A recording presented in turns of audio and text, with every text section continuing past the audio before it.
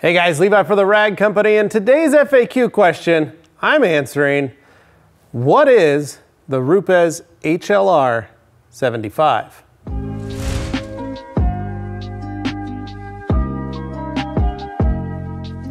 Well, the answer is simple. It's a polisher, it's a 3 inch polisher, it's a long throw 3 inch polisher, and it's cordless it's actually very ergonomic. It's quite nice. It's quite simple. It's quite easy to use. But this is it. This is what that polisher is. This is the Rupes HLR 75. Couple things to note, it's battery powered.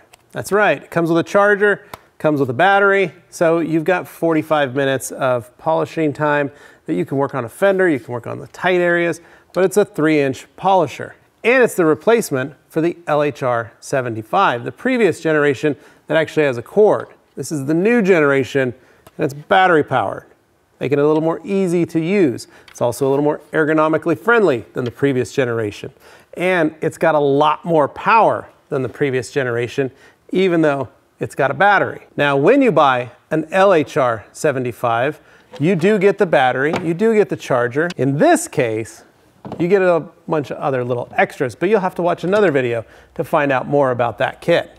So as you can see, it's just another tool to add to your arsenal, but it's an important tool. Anthony and myself have always stated that a 15 and a 3 in your toolkit are the two best machines that you could ever have, and you could probably get about 90% of the cars done.